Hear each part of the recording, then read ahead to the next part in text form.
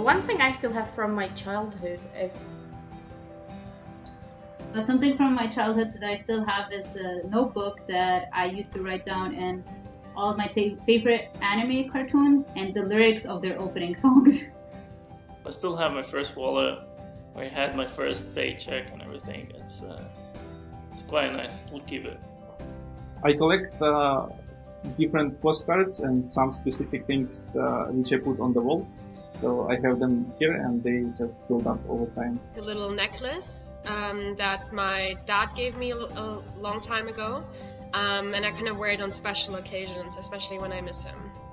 So I have a special box with uh, small things from my different periods of life that was very important for me.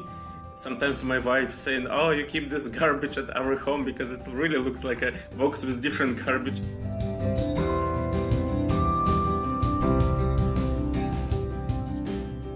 What's integration? Like, can you define it? Like, is there any like one, two, three steps for it?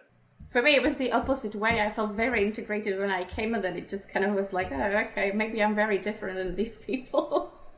if so, one person wants to integrate in the society, they have to be willing to actually do the things local way, not the way that I'm supposed to be doing it from my own uh, individual perception. Integration, it's it's not a word I I I particularly like. I think it puts you in this little box of having to finish up a checklist of what counts as belonging to somewhere. Integration is not um, is not just learning the language. It's not learning about the culture. It's not just about going to work and so on. I think integration is um, a word that is really overrated.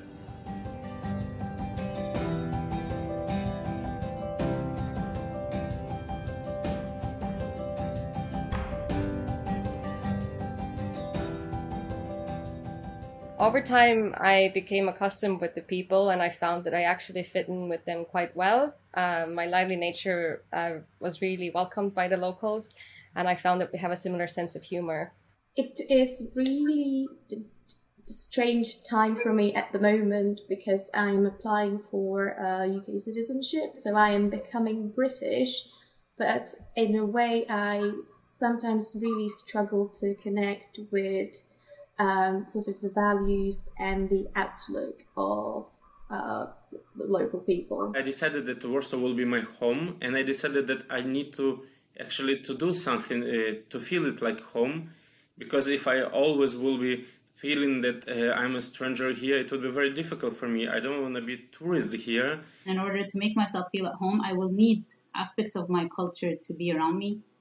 So, food makes a huge difference um, gravitating towards people who are just as open-minded as you and, and maybe also from your community can make a difference. I want to be involved in as much possible things what we are doing in the city so i'm always searching for uh, volunteering opportunities in the city. I actually went to the city hall asking them if you need somebody who will help you with uh, food uh, packages for the senior people uh, during this pandemic time. I would love to help you. I have to say, then uh, I feel privileged. I feel uh, I'm very grateful that I can live in Czech Republic.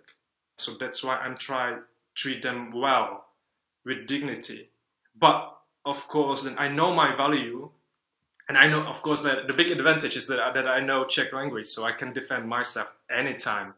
So oftentimes it's mostly about okay, how do you integrate into our society? How do you learn the language? How do you start behaving more as a Finn instead of putting more responsibility on the society itself of being more accepting for different kind of people. Integration for me is a two-way street. So I need to make a conscious effort to integrate into that country that is learning the language, understanding the different social and cultural norms.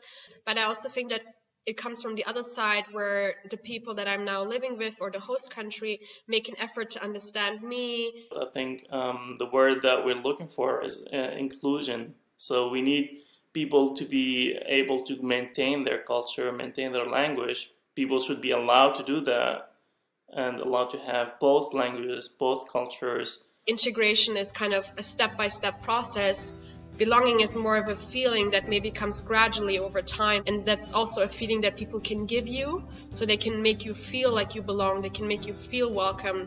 When the airplane lands, do you feel like you came back home? And that's more or less, um, for me, what belonging means.